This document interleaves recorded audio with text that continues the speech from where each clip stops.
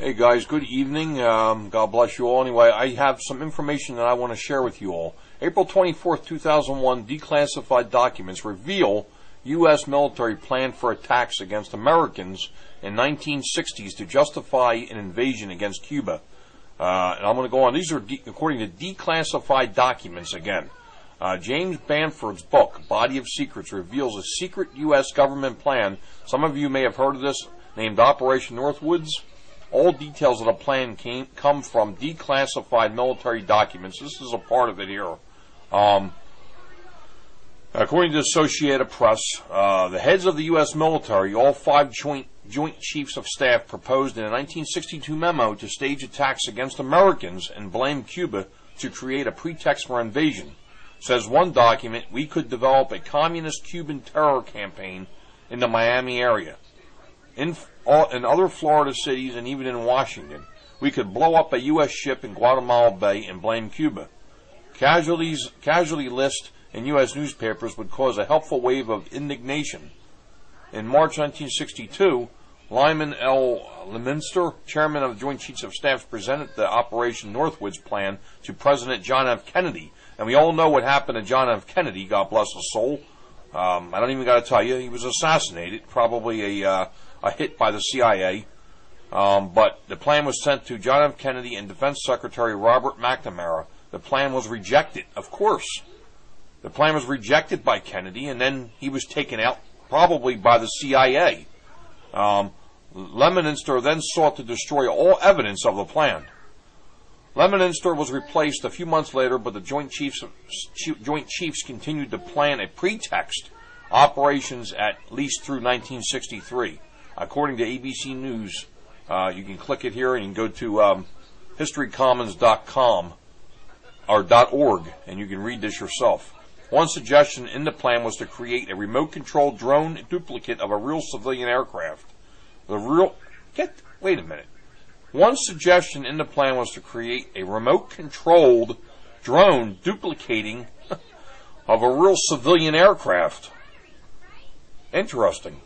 The real aircraft would be loaded with selected passengers, all boarded under carefully prepared al- uh, aliases, and then take off with the drone duplicate simultaneously taking off. You gotta hear this, guys. Nearby, the aircraft with passengers would secretly land at a U.S. military base while the drone continued along the other plane's flight path. The drone would then be destroyed over Cuba, or how about flown into the World Trade Center or the Pentagon, in a way that places the blame on Iraq, this time, this case, Cuban fighter aircraft. Now, this sounds very, very similar to what possibly could have happened on 911.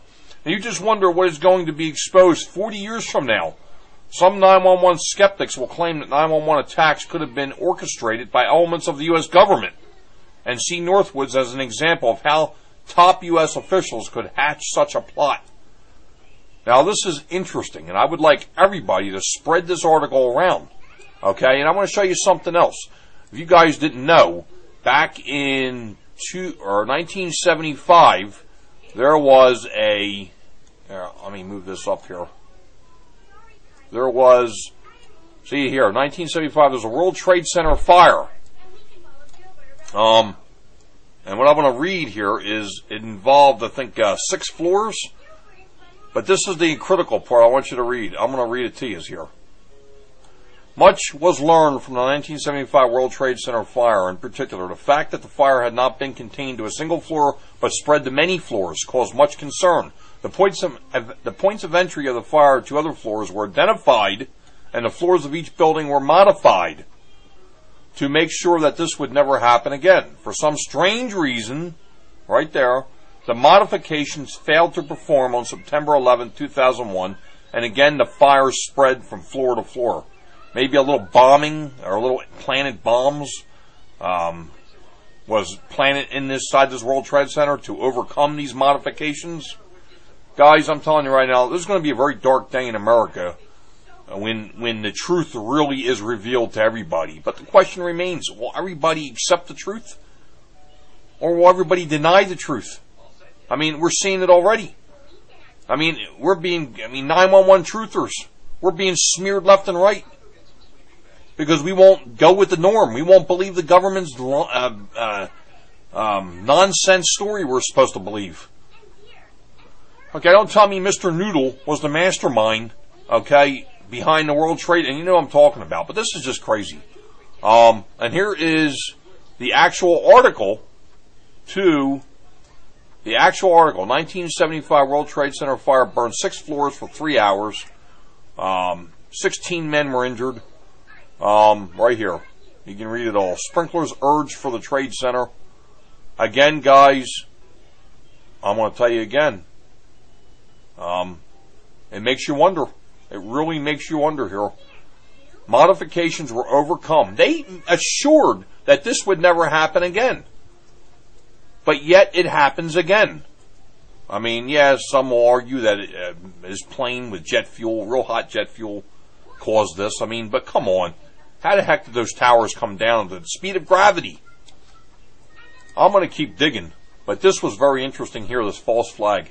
1962, our own government military planned to attack Americans and kill us. It's right here. And it looks very eerily similar to what happened in 911. And I'm going to read this one more time. One suggestion in the plan was to create a remote controlled drone or aircraft duplicate of a real civilian aircraft, Flight 175 possibly.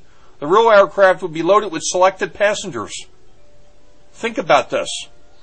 All boarded under carefully prepared aliases, um, aliases, uh, and then take off with the drone duplicate simultaneously taking off nearby. The aircraft passengers would secretly land at U.S. military base while the drone continues along the other plane's flight path. The drone would then be destroyed over Cuba in a way that places the blame on Cuban fighter aircraft. Oh, this is just nuts. But I wanted to do this video in seven minutes. God bless you all. Spread it. Um, historycommons.org. May 2nd, 1968, an advertisement came out in the New York Times, a warning of a World Trade Center danger showing plane about to strike one of the towers. You see it right there? This is odd. This is the World Trade well, the World Trade Centers weren't built in 68, but it's an advertisement because they were under construction. This was a construction project and they called these the mountain comes to Manhattan.